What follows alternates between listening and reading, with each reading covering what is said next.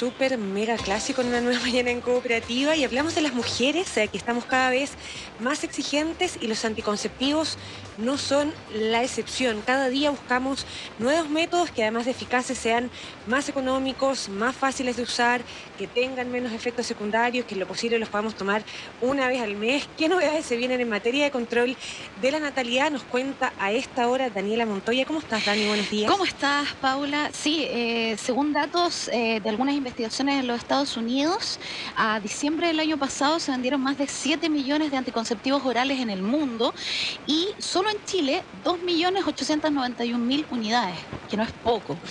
Como ves, el, anticonceptivo oral sigue siendo al parecer el favorito, pero también es verdad que las mujeres hoy día esperan cada vez más eh, de su método anticonceptivo, lo que ha obligado al mercado, también a la medicina, por supuesto, a investigar, a actuar con rapidez. De novedades y también eh, de algunas verdades, ¿por qué no decirlo? Respecto al tema de los anticonceptivos, conversamos ahora con el doctor eh, Guillermo Galán, que es ginecobstetra, miembro además de la Sociedad Chilena de Obstetricia y Ginecología, que ha tenido la gentileza de conversar con nosotros después de un intenso pabellón, ¿ah? porque viene saliendo de ah, pabellón. ¿Cómo está, doctor? Muy bien, muchas gracias. ¿Cómo está, doctor? Buenos días. Doctor, eh, nos gustaría aterrizar un poco esto de los anticonceptivos. Lo digo porque hoy día uno ve bastante publicidad que dice anticonceptivos de última generación, eh, anticonceptivos a base de estradiol que evitan los efectos secundarios, las espinillas y tantas cosas eh, indeseables que vienen por añadidura o que son indeseables para muchas mujeres. ¿Qué podemos decir? ¿Es efectivo esto de los anticonceptivos de última generación o no es tan así? Sí, hay una, hay una búsqueda permanente de nuevos anticonceptivos que suena curioso porque a pesar de que hay anticoncepción en el mundo desde hace tantísimos años, hay que acordarse que la píldora cumplió, ¿cuánto cumplió? 50 años, hace cuatro años atrás de uso, pero todavía estamos buscando anticonceptivos diferentes, anticonceptivos que cumplan con necesidades, todavía necesidades no satisfechas en las mujeres. Y por ejemplo, lo que usted decía, la búsqueda de, estos anticonceptivos con nuevas fórmulas, estas píldoras con nuevas fórmulas, que buscan una cosa bien clara, que buscan mayor seguridad. Hay que recordar lo que la, ola de inquietud que apareció el año pasado cuando hubo una, problemas de coagulación de la sangre en algunas mujeres por uso de, de anticonceptivos, coagulación de la sangre dentro de los vasos, que se llama tromboembolismo.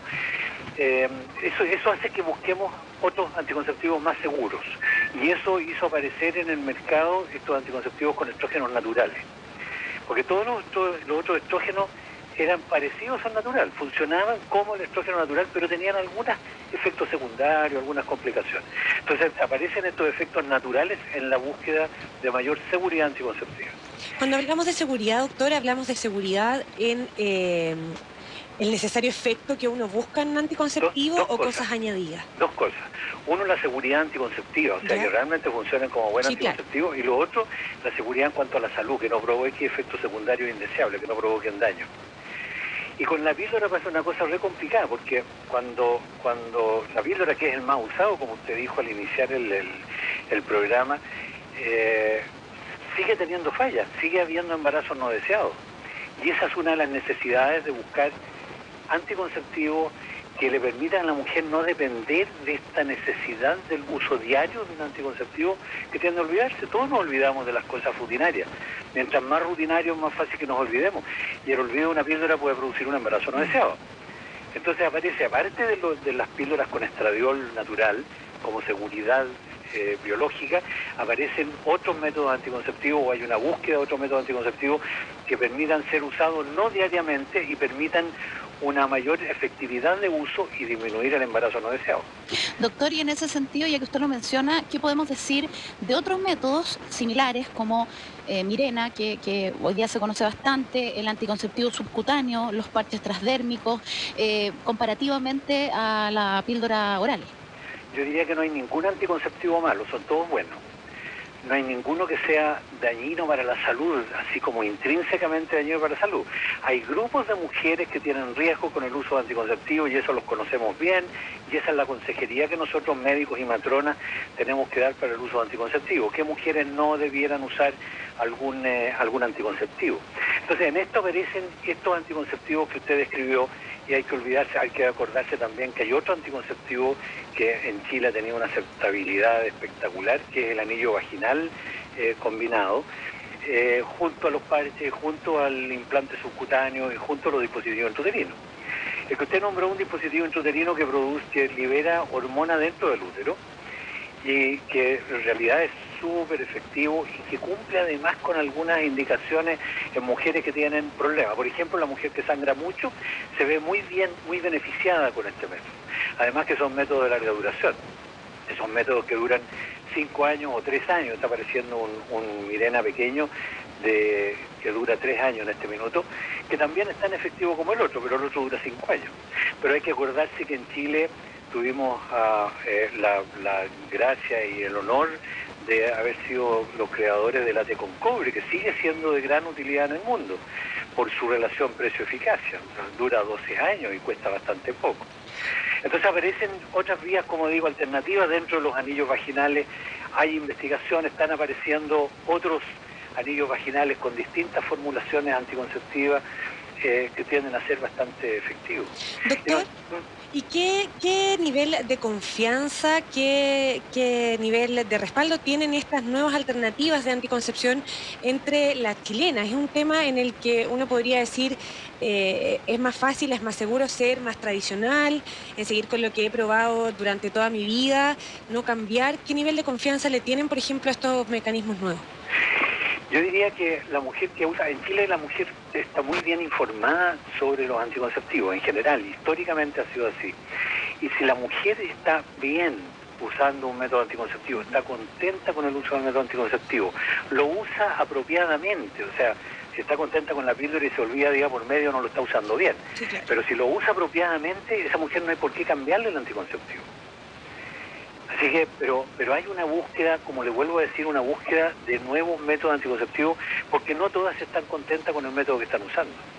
Eh, doctor, eh, ¿qué podemos decir de este llamado preservativo femenino que también ha salido a la palestra este último tiempo?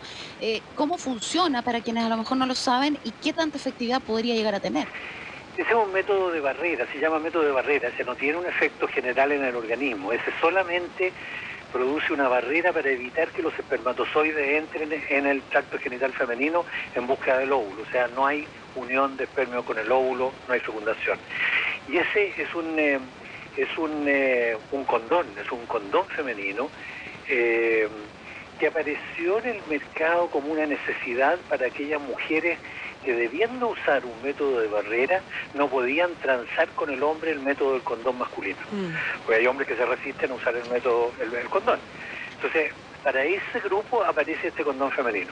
No ha tenido en el mundo una gran aceptabilidad, a pesar de que es un buen método y que le permite a la mujer manejar ella el uso de su método. ¿Y por qué diría usted que no ha sido aceptado mayoritariamente? No ha sido aceptado por varias razones, porque es un cuerpo extraño, un elemento que hay que ponerlo previo a la relación. Puede ponerse bastante tiempo antes, no como el condón masculino que tiene que ser justo antes de la relación. Esto lo puede tener de antes, de, de horas antes la mujer.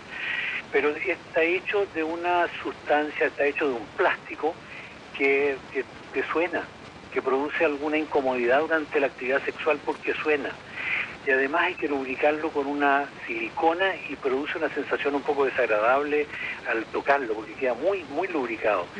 Entonces no no, es, no ha tenido muy buena utilidad. Eh, y de hecho, en muy pocas partes se vende. Aquí en Chile Aprofa estuvo vendiéndolo algún tiempo, no tengo, no sé si en este momento todavía existe, pero no así el condón masculino, ¿cierto? Que se sigue siendo muy utilizado y, y está bien, porque eh, son los únicos dos métodos estos, el condón femenino y el condón masculino, que pueden realmente proteger de infecciones de transmisión sexual, incluyendo la transmisión del VIH. Doctor, eh, entiendo que un laboratorio también está trabajando en un anticonceptivo en spray. Eh, me, me, provoca curiosidad saber eh, cómo sería eso, cómo funcionaría y qué opinión tiene sí. usted de eso.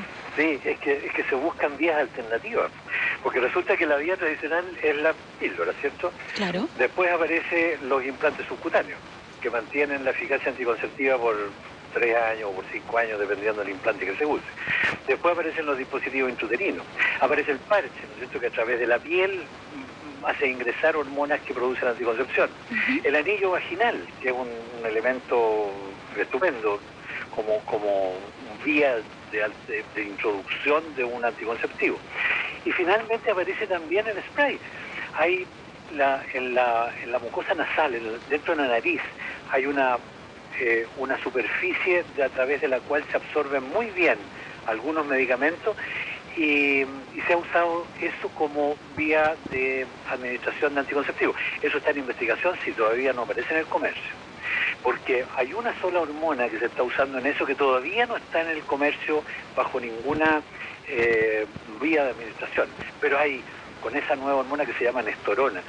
Eh, hay anillos vaginales con nestorona, hay, hay, implantes con nestorona, este spray. Entonces, hay una investigación que yo creo que dentro de no sé, dentro de los próximos muy pocos años vamos a tener como grandes novedades en anticoncepción.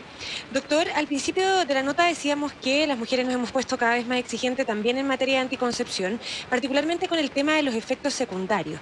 Con lo que hay hoy, con la tecnología que está hoy a disposición de la anticoncepción, ¿qué efectos secundarios eh, podemos no tener? O sea, ¿hasta dónde nos podemos poner exigentes las mujeres? Una anticoncepción que no me provoque acné, que las clásicas. ¿Qué es lo que ya no debiera pasar? Sí, cada vez más la, la, investigación farmacológica ha desarrollado eh, hormonas más puras, como esto del estrógeno natural. Y eso hace que los efectos secundarios sean cada vez menores y efectos secundarios adversos casi no vemos. Los que veíamos y con lo que tradicionalmente la gente ha quedado, ¿no es cierto?, en el inconsciente colectivo, esto de, que las pastillas producen infertilidad, que las pastillas aumentan de peso, que las mm. pastillas producen frigidez o que producen dolor de cabeza, se ha, quedado como en una historia de la anticoncepción cuando se usaban dosis muy altas y otro tipo de hormonas. Pero en este momento nosotros no asistimos a esas, a esas eh, alteraciones. En este momento el efecto secundario más indeseable que nosotros tenemos es la alteración del flujo rojo, o sea, que no se sangra eh, adecuadamente una vez al mes como las mujeres en general esperan. Esa tal vez sea lo más molesto que aparece en esta en el uso anticonceptivo, pero cada vez hay menos efectos secundarios. No hay dolor mamario, no hay retención de líquido, en fin, ya hay una seguridad eh, siempre y cuando se usen mujeres que no tienen riesgo, o sea, que no se usen anticonceptivos hormonales en mujeres que tienen más de 35 años y fuman, o en mujeres eh, que tienen hipertensión arterial, en fin, eso está bien, bien definido. Pero la mujer sana no hay, uno no esperaría efectos secundarios con estos anticonceptivos. Doctor, eh, proyectándonos y al mismo tiempo aterrizándonos un poco, eh, sé que la Universidad Autónoma de México está trabajando en una especie de anticonceptivo reversible, no hormonal, y también he sabido de eh, China, donde se ha experimentado con nanomoléculas de oro que podrían, a través del láser, convertirse en anticonceptivos masculinos al ser expuestos justamente a este, a este láser. ¿Qué sabe de aquello y qué nos puede decir? Porque de pronto uno sabe de las investigaciones, pero no sé hasta qué punto tienen sustento y pudieran en el futuro ser un real avance. Esa, la, investigación de la anticoncepción masculina es algo que está eh, en, la búsqueda permanente de los equipos de investigación en el mundo y no se ha desarrollado nada muy eficaz, porque resulta que para ello se necesita o interrumpir el conducto por el cual transcurren los espermios, cosa que hasta hace poco tiempo era, eh, era irreversible.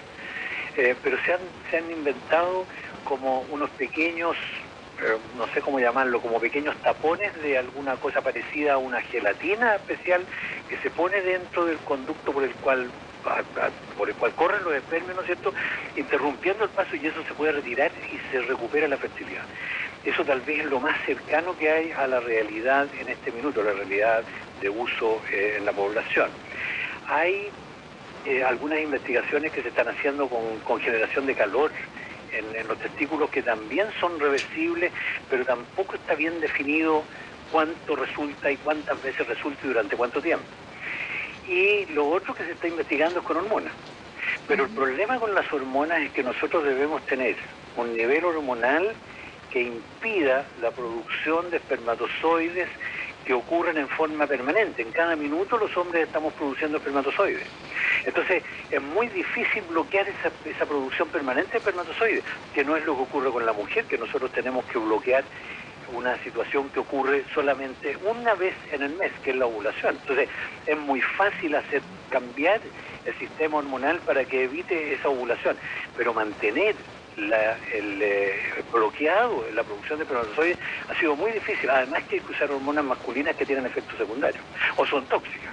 Perfecto. Entonces por ahí estamos con una limitante que es bastante grande y por eso no ha aparecido un, eh, un anticonceptivo masculino como los que han aparecido en la mujer. Bueno, hemos aprendido mucho esta mañana. Le queremos agradecer al doctor Guillermo Galán, ginecobstetra, miembro de la Sociedad Chilena de, de, Obstetricia y Ginecología, por haber conversado con, con, nosotros. Gracias, doctor. Muchas gracias, Daniela. Muchas Chao, gracias. Doctor, muchas gracias. Muy bien. Chao. Hasta luego. Adiós.